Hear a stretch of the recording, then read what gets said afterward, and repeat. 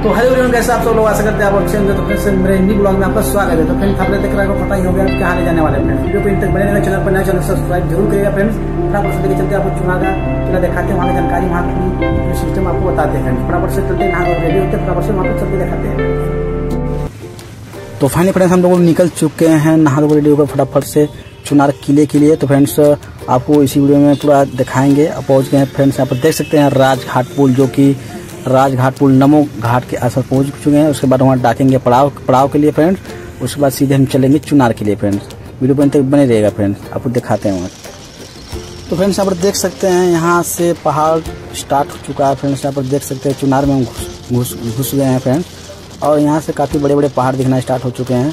और कुछ ही मिनट में हम पहुँच जाएँगे चुनार फ्रेंड वीडियो प्रिंट बन लेगा दिखाते हैं आप। तो देख सकते हैं यहाँ पर हम चुनार गेट पर पहुँच के गाड़ी पार्किंग करने के बाद फ्रेंड आप दिखाएँगे। यहाँ पर देख सकते हैं इसी जगह गंगा तट जम किनारे बची है, बसी है चुनार किले के, जस्ट एकदम।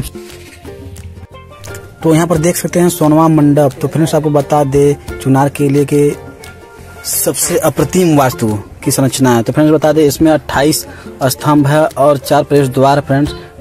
इसको बोलते हैं सोनवा मंडप, जो कि इसमें राजकुमारी सोनवा का विवाह होने वाला था पर नहीं हो पाया नहीं हो पाया फ्रेंड्स यहाँ पर देख सकते हैं। और आपको आगे के चलते दिखाते हैं। पूरी अट्ठाईस स्थम चार प्रवेश द्वार इसमें है सोनवा।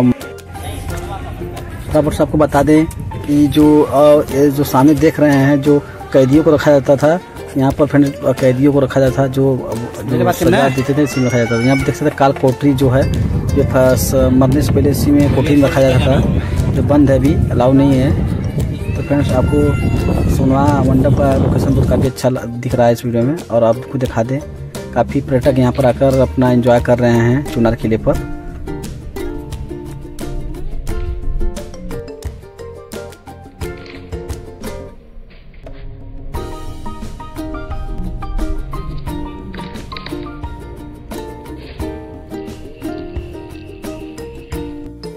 और यहाँ पर देख सकते हैं जो सोनवा मंडप का अंदर का जो नज़ारा है काफ़ी खतरनाक दिख रहा है अंदर का नज़ारा। तो ड्रावनी लग रहा है जैसा। आपको फिर फ्रेंड देख सकते हैं मैं आ, कुछ अपना व्यू भी लेने लग गया इस वीडियो में। और आगे जानकारी आप इस वीडियो में देते रहेंगे फिर वीडियो बने रहिए दिखाते हैं और।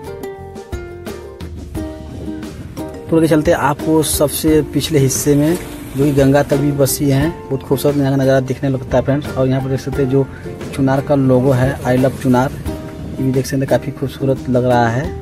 जो सबसे पीछे लगाया गया है लास्ट में, और गंगा भी बसी हैं, जस्ट एकदम पीछे ही चुनार किले किले जस्ट पीछे बसी हैं।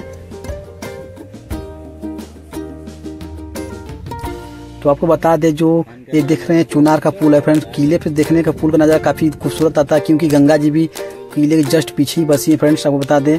और फटाफट से आपको लेकर चलते हैं, दिखाते जहाँ रानी नहाती थी। तो फ्रेंड्स चलते कुंड के पास, दिखाते हैं यहाँ पर फ्रेंड्स देख सकते हैं यहाँ पर जो राजकुमारी सोनवा इस कुंड में नहाती थी। फ्रेंड्स आपको सीधे प्रवेश द्वार उसका बंद है। इसके डायरेक्ट हम आपको कुएँ दिखाते हैं। जो इसी गहराई दो सौ फीट के आसपास है, जो सामने दिख रहा है, दो ठो जो दिख रहा है, वो प्रवेश द्वार है फ्रेंड्स और इसी में रानी सोनवा राजकुमारी नहाने आती थी।